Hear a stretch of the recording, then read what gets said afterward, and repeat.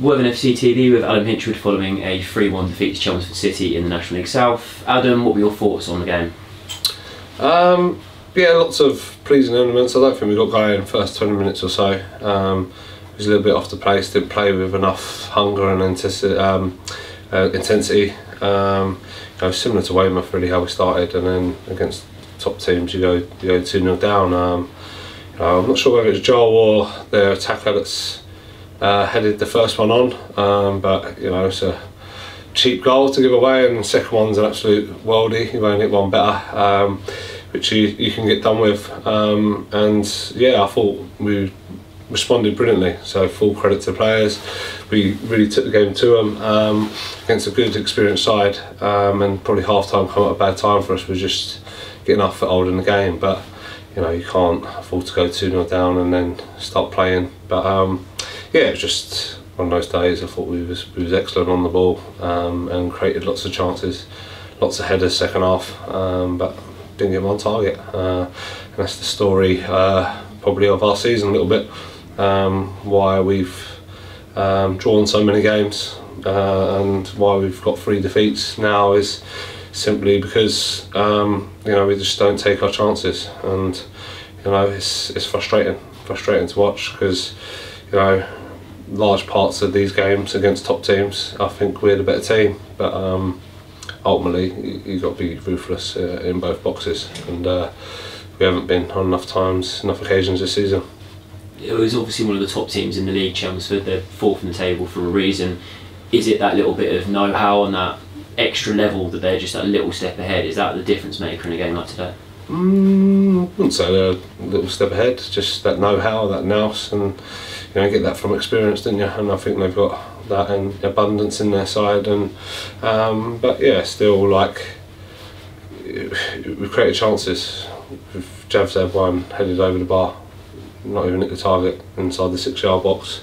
I think Luca's had two headers. Aaron's had a header from a corner that we've worked. Um, I think even before they scored, I think JB and Joe had shots from what eight yards out, go over the bar. Um, yeah, so I think Lewis hits the post.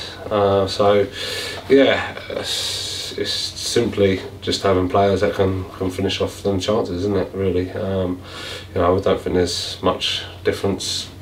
Um, you know, really pleased with uh, how we played. Um, obviously, some grumbles about conceding the third goals in, in the manner we did, but you know, it's us playing out like that has led to goals in recent weeks. Um, so we'll carry on doing it. Um, just be a case of um, seeing how we can do it better um, on certain occasions. But you know, serve this serve this well um, so far this season. So we'll carry on and strive to be better. Talk about those chances, and obviously were quite a lot for us. A lot of them came from set pieces, crosses, headers. Is that something that's been worked on recently? Is that something that was wanting to be built on? No, yeah, we did spend a little bit longer just working on some set pieces, a couple of different routines that we've, we've tried, um, which yeah, done well. But I think you know might have been Jeff's one. It was about you know near 100 passes I think before that come in, and just patient play, kept moving from side to side. Worked worked the overload, got a good delivery in the box, and uh, unfortunately we can just capitalise on the finish. Um, but like I say, the, the bravery that the, the lads played with um, was good, but you know against these top teams we've got to find a way to start like uh, with that hunger. Um, and yeah, we just took a bit too long to get going on that today. Joe Wright amongst the players missing today. Um, what's the word with him? Is he uh, injured or unwell or anything like that? No, just on the bench. Um, Lucas done well, and uh, yeah, so he's just got to be patient, wait for his opportunity. Um, you know, he's played loads of games, real talented young player. Um, I think sometimes, you know, um, you know, it's just his mindset. I think he made a mistake in the last game and his mindset went a little bit. Um, but, you know, we've got a real talented boy on our hands there and we'll definitely see him in the upcoming weeks. Plenty of talent in that centre half position, so plenty of rotation and opportunities. Yeah, I think there's there's there's bags of talent in the squad at the moment. Um, you know, uh, but I think it shows in our box to box play. But yeah, we've got to every single every single one of us like not just not just the forwards today with both fullbacks Luca Aaron all back four have had a chance at goal today and not hit the target with it. Um, you know, so it's not just the forward players, um, and then defensively, the manner that we've conceded three goals is, is very soft, and you can't do that against top teams. Looking ahead to the next week, fixtures haven't been too kind on us.